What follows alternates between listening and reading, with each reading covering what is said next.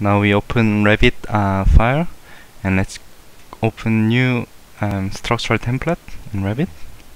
And I'm go I'll go ahead 3D view.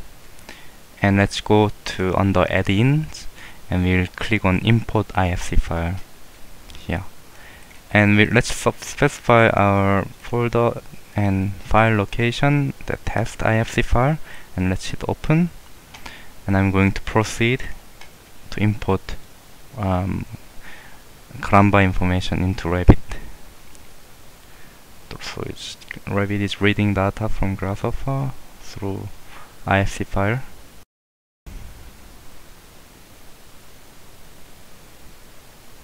As you can see Revit is creating all the families that um, we got cross sections from Karamba and IFC file is creating all the families into Revit file alright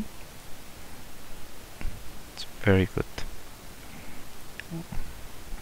So we don't need to manually create all these different cross sections. Um, now in Karamba and Geometry Gym exporter do, do those jobs? Okay. Not only cross sections we received from um, Karamba we also received all the supporting condition which is fully fixed and in the exact location of, of the Karamba model. And as you can see we have our analytical model that we can send it to robot structural analysis. Now let's check how many um, beams we have. I'll just select them all and I'm going to take structural framing that has 100 we have total 187 beams in our Revit view I'm going to go in here and let's see how many um, element we exported actually. So panel we'll see from the model we have 187 elements we exported and have 100 nodes in this case. And let's have a look in here. Let's select and I'm going to filter. Uh, sorry analytical model. I'll, I'll select them and filter. And for beams we have 187 and have nodes 100 nodes points. And we have 5 supporting conditions. Alright? Which is pretty good we you can see. And also in Revit uh, all these different cross sections now we can use um, as a beam um, export data that we can send it to other applications as you, as you see.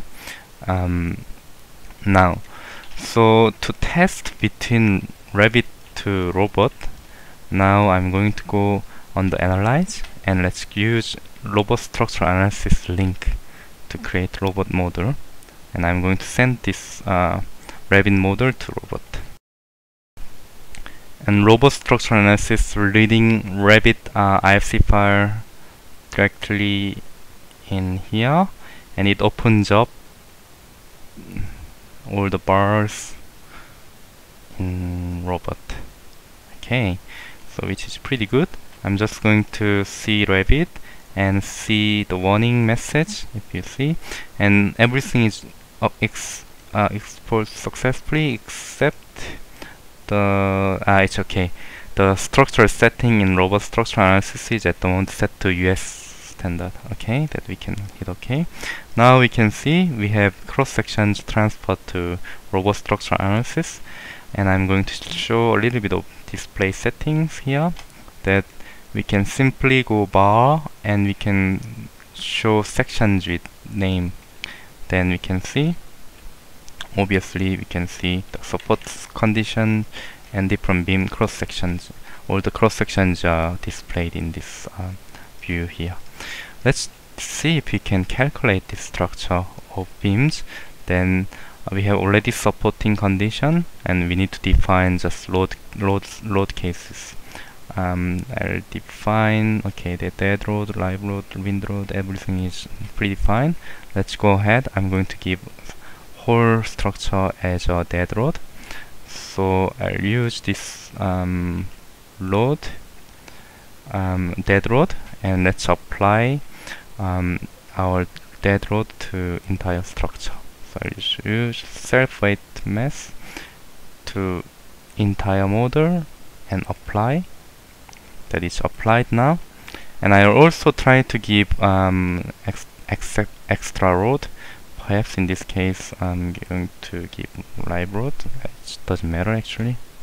Um, and let's provide this live road to all the bar that I'll give minus about minus one kilonewton towards z-axis. And I'll say add. Okay then we can see the different load load load in um, our Revit model. Okay? Close it. And say we didn't seems like didn't apply it. So okay that okay apply to um, I'm going to apply to all the bar. Any bar okay any bars we have apply so we can see the load um, the uniform load is applied to all the beams. I'm going to calculate this um, condition in in a robot. So diagrams and um, let's calculate the structure. Calculate.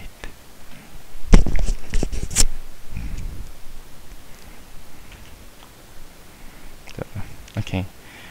And now um, we can see um, for example the result parameter and you can fill the result and I'll go to perhaps um, moment line. See we can see the moment of each beam uh, and also we can you know in, in, in robot if you're a structural engineer you have a better um, thing that you can do and you can probably see the deformation of structure. At the moment dead road but we can change the live road to see um, the different result. Oops live road is quite so I'm just okay. Um, so that's how we can work around um, between Karamba to Revit by using Geometry Gym. And then uh, in Revit we can get extra information to send it to robot and we can do more detailed analysis in robot structure analysis. Thank you.